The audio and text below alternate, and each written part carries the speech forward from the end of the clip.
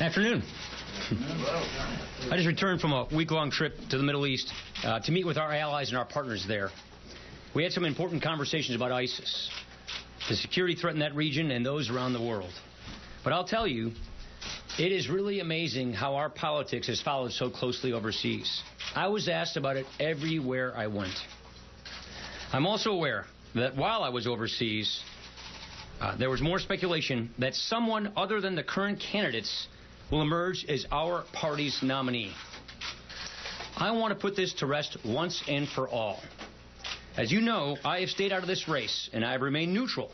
As chairman of the Republican convention, my job is to ensure that there is integrity in the process, that the rules are followed by the rule book. That means it is not my job to tell delegates what they should do. But I've got a message to relay today. We have too much work to do in the House to allow this speculation to swirl or to have my motivations questioned. So let me be clear. I do not want, nor will I accept the nomination for our party. So let me speak directly to the delegates on this. If no candidate has a majority on the first ballot, I believe that you should only choose from a person who has actually participated in the primary. Count me out. I simply believe that if you want to be the nominee for our party, to be the president, you should actually run for it. I chose not to do this. Therefore, I should not be considered, period, end of story. I just think it would be wrong to go any other way. So let me say again I am not going to be our party's nominee.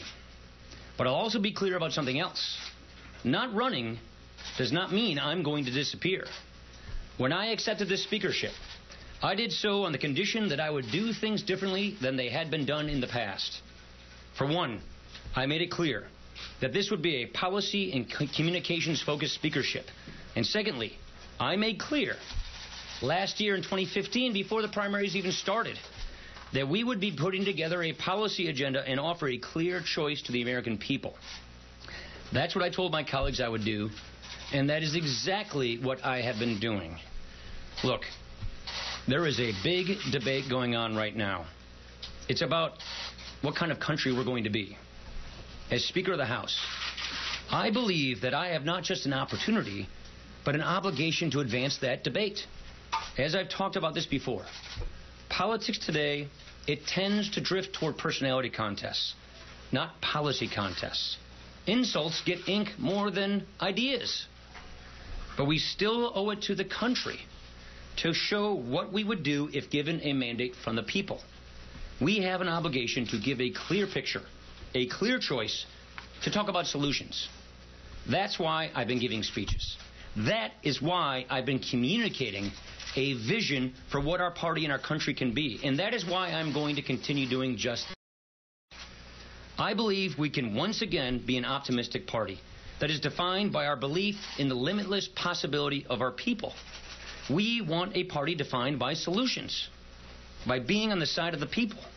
We want to take our principles and apply them to the problems of the day. Embrace free enterprise and reject cronyism. Promote upward mobility. Provide solutions to those who are stuck in fighting poverty. Offer a tax code that rewards work, not the well connected. A strong and focused military a healthcare system that promotes choice and flexibility, a secure border, a government that allows people to fulfill their American idea. You know, this great idea that the condition of your birth doesn't determine the outcome of your life. That's the kind of an agenda we are building right now. And that is the kind of an agenda that we are going to be releasing in the next few months. This job provides a platform to communicate a conservative vision for our country. And I am intent on using it. And I am intent on using this platform not for me, but for my House colleagues and for those who believe that conservatism holds the keys to a confident America.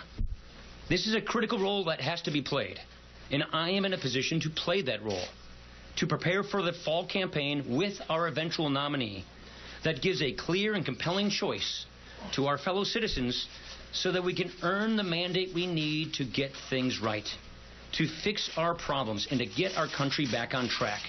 Thank you. Speaker Ryan, Speaker Ryan, a lot of people said, hey, this is exactly what he said about becoming Speaker, and then he ended up taking the job. What do you say to people that are continuously skeptical of you and said, you're just going to back into the system? Apples and oranges. Uh, Luke, those are apples and oranges. Being Speaker of the House is a far cry from being President of the United States, specifically because I was already in the House. I'm already a congressman. I was asked by my colleagues to take a responsibility within Congress that I've already been serving in from the one that I had. That is entirely different than getting the nomination for President of the United States by your party without even running for the job. So completely non sequitur comparison in my book. Speaker Ryan, there's a two-part question here. So what happens if this goes to a second ballot since you're in charge? And what happens? Who prevents then, you as the chair of the convention, from somebody from the floor and you're adhering to the rule book puts your name? I I, your name I, I do I will not allow my name. I, I am opposed to my name being put in place. And I would look the rules committee. Let me ask you your second question. The Rules Committee, which is assembled by the delegates, will decide what the rules are. But I would encourage those delegates to put in place a rule that says you can only nominate someone who actually ran for the job.